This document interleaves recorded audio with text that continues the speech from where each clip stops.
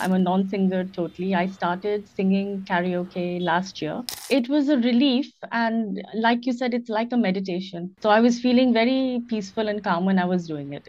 Singing is not just for, um, for fun or for entertaining it's a way of it should be a way of life because it's um it's a very relaxing form and uh, it takes you to another level. It's like a meditation. I'm finding it like a meditation.